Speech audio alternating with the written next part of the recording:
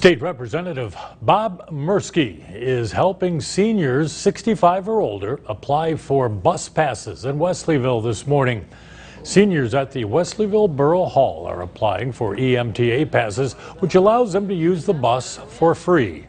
Representative Merski will also visit the Harborcreek Municipal Building until 1 this afternoon.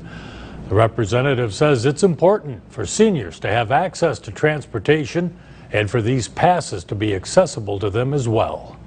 The biggest thing that they're saying is thank goodness that you came to us because we couldn't get to you. So we're really glad to be out in the community. And of course, with gas prices being high, that is a, another motivating factor for a lot of people. Um, but the buses are reliable, they're free uh, with, for seniors 65 and older. The EMTA will host the opening of their new facility on East 4th Street. That'll be on Tuesday, June 14th.